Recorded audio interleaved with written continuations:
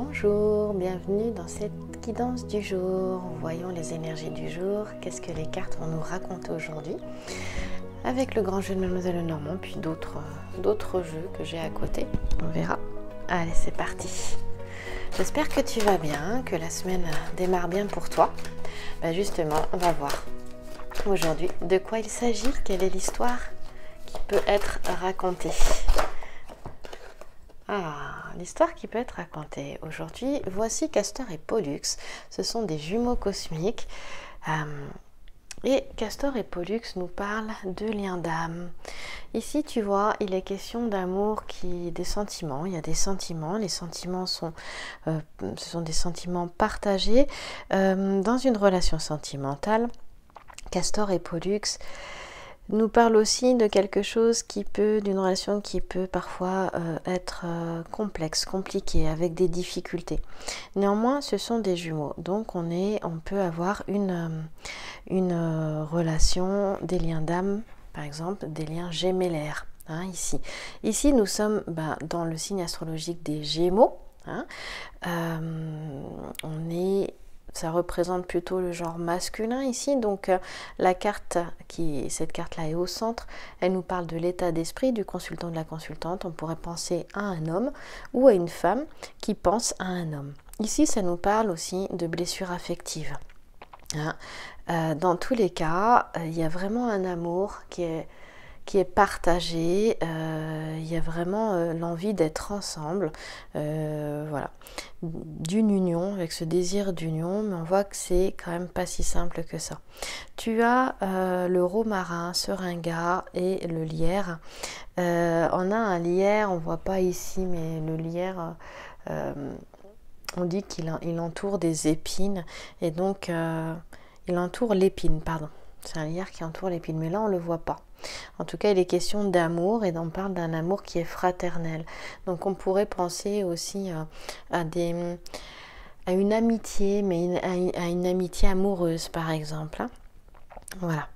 Euh, le romarin, c'est assez intéressant si tu as du romarin dans ton jardin parce que ça nous parle d'avoir l'espoir de s'unir avec cette personne, un espoir d'union. Hein. Donc ici, on peut penser aussi, on parlait de blessures affectives, euh, d'un voilà de, souvenirs d'une union qui a été forte, euh, qui peut-être est terminée. Je sais pas, on va on va voir la suite. Ça peut être une union aussi dans le dans le travail, hein, par exemple, euh, où il y a une, une association qui était forte et puis qui est terminée, et puis voilà la personne ici euh, repense euh, euh, à ces souvenirs-là, puis c'est quand même assez douloureux. en tout cas ici, c'est vraiment la carte de, l'union. Ça peut être une amitié très très forte, une amitié vraiment fraternelle très forte. Ça peut être une amour, un amour, pardon, une amitié amoureuse. Il y a vraiment cette notion de, de, sentiments qui sont forts, qui sont partagés, du désir de s'unir. Alors, on va aller voir aussi par la suite. Alors, pour la petite histoire, euh,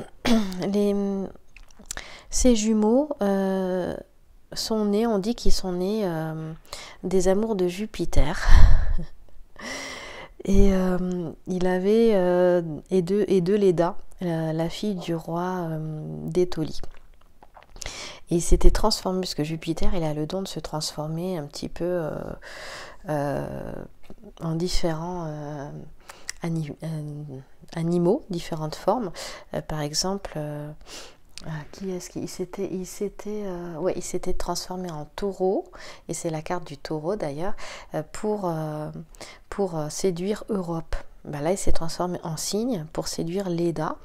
Et on va dire la femme de, Jupiter, c'est Junon. Et Junon était jalouse parce que Jupiter, il, il papillonnait à droite, à gauche. Donc en fait, euh, ces jumeaux cosmiques, Castor et Pollux, qu'on appelle aussi les dioscures, euh, eh bien, sont nés, on dit, par euh, d'un œuf miraculeux des amours de Jupiter et de Leda. Voilà. Donc, ils, ont, ils ont participé aussi à l'expédition des Argonautes, si tu connais un petit peu la, mythologie, la, mythologie grecque. Et puis, c'était les frères de Hélène. Hein, on disait à l'époque la belle Hélène. Donc on est dans un temps ici qui est rapproché. Et euh, nous allons voir la suite des événements. De quoi cela va nous parler? Bien que Castor et Pollux, ici, euh, nous parlent vraiment de, euh, effectivement, avec le 3 de carreau, bon, d'amour euh, partagé qui sont un peu compliqués puisqu'on parle de blessures affectives. ça nous parle de aussi que tu as une bonne étoile au-dessus de la tête.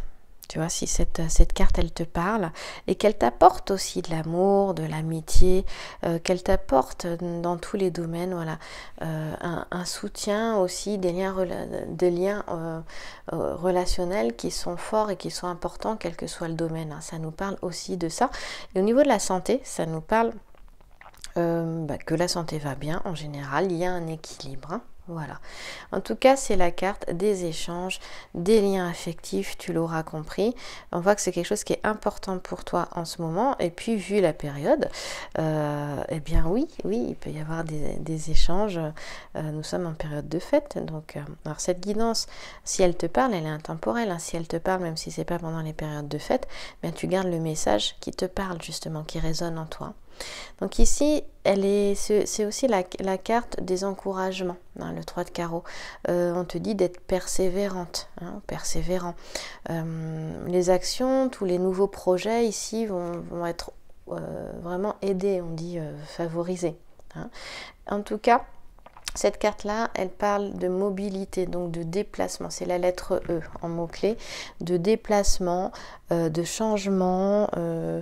De lieu, de changement d'emploi, mais de changement de lieu. Donc ça peut être des, mutations. En tout cas, il y a vraiment des, transformations qui, qui, vont se passer, mais c'est plutôt favorable pour l'avenir. Pour être sûr, il va falloir qu'on tire deux autres cartes. Alors on y va.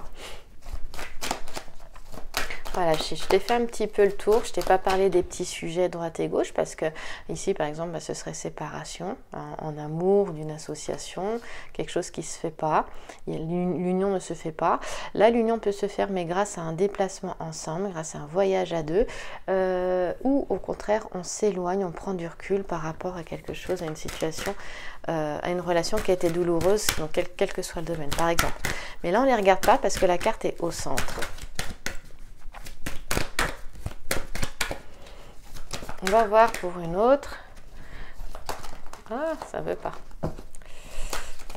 Deux autres cartes, à droite et à gauche. On peut faire des tirages à 5 cartes, mais en 15 minutes, j'ai clairement pas le temps de les faire, les tirages à 5 cartes. Donc, va voir sur la chaîne YouTube Sacré Féminin, t'en trouveras.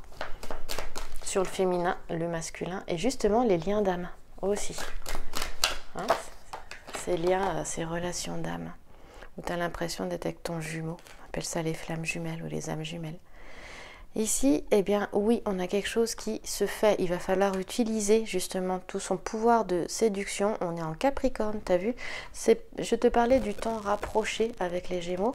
Et là, tu as vu, en Capricorne, on est. Donc oui, c'est maintenant, c'est en ce moment. Ici, il est question vraiment. Euh, oui, les projets sont favorisés. Tu vois, là, c'est l'architecte avec son diplôme. Donc, euh, mets en place des actions euh, parce que là, il y a une réussite ici. Il faudra vraiment utiliser tous tes dons, tous tes talents, ton charisme, ne pas te cacher, te montrer, oser être toi, oser ta différence. Hein. on continue. Oups, non, ben non, j'en ai deux. J'en veux une. Pour voir. Et ben voilà, elle est restée coincée. Voilà, donc apparaît, on voit bien qu'il a été question d'une séparation d'un chemin qui a été fait, qui a été fait seul. Isis a perdu Osiris, elle le découvre, il est mort derrière un buisson. On parle de la perte euh, d'un ami, d'une amie, quelqu'un qui est cher ici. C'est la dame de pique, c'est une femme qui est seule, voire veuve aussi. Hein, également. Et là, on voit qu'il est question de chagrin aussi, euh, de tristesse. Néanmoins, on a Laetitia qui nous parle vraiment de bonheur, de réalisation. Et il est clairement question de réalisation de vœux affectifs ici, ou réalisation d'un projet, d'une association. Donc dans le domaine professionnel, si tu as le désir, tu pensais par exemple à, avoir un projet, ben, on te dit que si tu le fais avec quelqu'un euh, en qui tu as confiance, euh, quelqu'un de cœur aussi, hein, parce que là on c'est vraiment le cœur aussi. Euh, les liens sont profonds, sont partagés. Et bien on te dit de le faire. ça pourrait être par exemple avoir une idée avec un frère ou une sœur aussi, ou un frère ou une sœur d'âme. Hein également. Euh, après une période de solitude et de séparation, ici, euh, il y a quelque chose de positif. On voit bien qu'il est question de projet parce que quand même, euh, on a le, le 7 de trèfle là. Le 7 de trèfle, bon, bah, on est en Capricorne, c'est le Capricorne, c'est le, le grand géant qui essaie d'attraper le dieu Pan. Le dieu Pan s'est transformé en Capricorne. Et il est question d'utiliser vraiment bah, tout son pouvoir de séduction pour, pour avancer. Tu vois, il est en train de, le, grand géant est en train d'ascensionner. Hein. Il grimpe la montagne. Alors, peut y avoir effectivement euh, parfois peut-être de l'anxiété, euh, de l'angoisse, des, des, craintes quant au, au, chemin euh, à suivre. Hein. D'ailleurs, la constellation d'Orion va nous parler de doute et d'incertitude.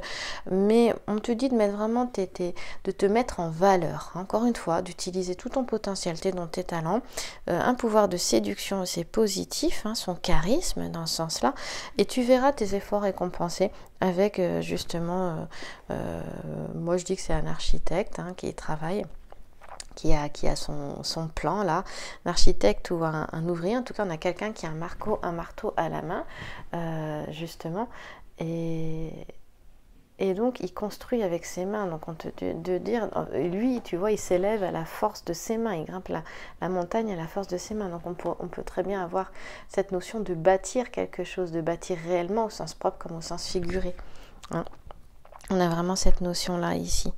Donc euh, ici, euh, dans une relation, par exemple affective, eh bien, euh, en utilisant tout son charisme, son charme, son, pouvoir de séduction, en montrant bah, cette belle personne de valeur que tu es, eh bien, on te dit que tes, efforts seront récompensés et il est question de joie et de bonheur. Et puis, dans le domaine professionnel, eh bien, c'est pareil, il y a cette notion de persévérance qui est là. On te dit qu'elle sera récompensée. On te parle de temps, de patience qui euh, seront nécessaires ou, comme là, c'est dans le futur, donc auront été nécessaires pour réaliser ce que tu souhaites réaliser, pour atteindre les objectifs que tu que tu, que tu souhaitais. Euh, le fait aussi, il faut savoir, de s'élever comme ça nous parle d'ambition. Hein. on a des personnes ici ambitieuses. Euh, donc, euh, on te dit de, de, croire en toi, de ne pas baisser les bras. Et puis, comme on dit, oui, bah, ici, on te dit très clairement que la lutte, elle n'est pas inutile. Hein. au contraire, elle t'emmène au succès. Voilà. Bon, il y a lutte et lutte. Hein. Il y a lutte avec douceur et bienveillance. Voilà. Et euh, bah, au niveau financier, c'est pareil. Il est question de patience, encore une fois, et euh, il y aura plus de clarté, il y aura une libération peut-être des, difficultés financières. En tout cas, elle sera, il y aura une aide pour s'en libérer et euh, pour assurer, assurer l'avenir. Hein. Donc ici, il n'y a pas de soucis majeurs, bien au contraire. Et puis, si tu pensais t'associer, associe-toi. Voilà. Donc, euh, on voit bien après une séparation, il y a quand même quelque chose là qui, qui avance. Euh, on nous parle d'une relation, je te disais, qui était par exemple pas si simple que ça, avec des difficultés, mais qui est très forte et qui euh, verra finalement comme on dit, les efforts seront récompensés euh, grâce à cette persévérance et à cette, patience. Hein. Euh, ici, on nous parle de spiritualité, tu vois, avec la lettre U. Euh, donc, c'est aussi peut-être que c'est le chemin parcouru. C'est-à-dire, cette perte, cette séparation, quel que soit le domaine, en fait, elle fait partie du chemin de l'âme, j'ai envie de, dire, justement pour pouvoir s'élever et apprendre. C'est un apprentissage, ça nous parle de ça. Donc, on voit bien que même s'il y a eu des moments douloureux par des séparations, des ruptures vraiment douloureuses, s'il y a eu au niveau euh, professionnel, pareil, des, soucis, des difficultés dans l'activité et que c'est en train de peut-être se faire, et que par exemple la perte d'un emploi, euh, cesser une activité professionnelle, euh, donc on voit beaucoup de peine, mais on voit qu'avec les efforts, les choses, elles s'améliorent. Les efforts, je t'en ai parlé tout à l'heure, sont vraiment récompensés au niveau financier. Eh bien, c'est exactement pareil, tu vois. Alors, j'avais envie, euh, est-ce que j'ai le temps de voir? Oui, oui, non, j'ai pas le temps. Je te prends une petite carte vite fait. Ici, on te dit de t'abandonner à vivre. Voilà. Merci